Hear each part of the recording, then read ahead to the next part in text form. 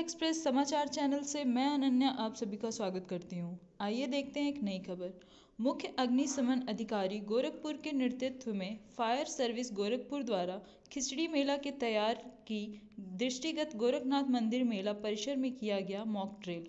वरिष्ठ पुलिस अधीक्षक गोरखपुर के निर्देशन में पुलिस अधीक्षक मंदिर सुरक्षा तथा मुख्य अग्निशमन अधिकारी अरविंद कुमार सिंह के संयुक्त नेतृत्व में गोरखनाथ मंदिर परिसर मेला क्षेत्र में मकर संक्रांति, खिचड़ी मेला के दृष्टिगत अग्निशमन सुरक्षा व्यवस्था को चुस्त को दुरुस्त बनाए रखने हेतु अग्निशमन अधिकारियों, कर्मचारियों व अग्निशमन वाहनों, उपकरणों के सहित खिचड़ी मेला क्षेत्र में फायर सर्विस गोरखपुर द्वारा आकस्मिक मॉक ड्रिल का आयोजन किया गया, जिसमें फायर सर्विस गोरखपुर के अधिकारियों, कर्मचारियों द्वारा गैस सिलेंडर विद्युत की आग को बुझाने का अभ्यास